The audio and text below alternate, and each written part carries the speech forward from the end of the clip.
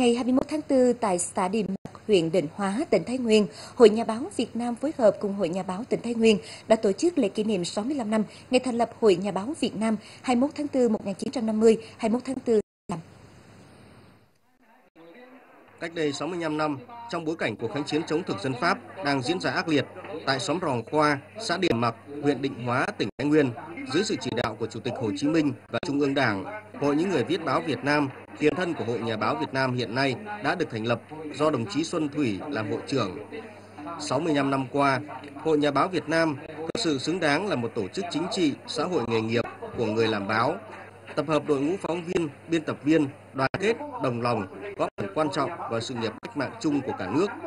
Tổ chức hội hiện đã có trên 22.000 hội viên sinh hoạt tại 63 hội nhà báo tỉnh và thành phố, 19 liên tri hội và 188 tri hội trực thuộc Trung ương hội.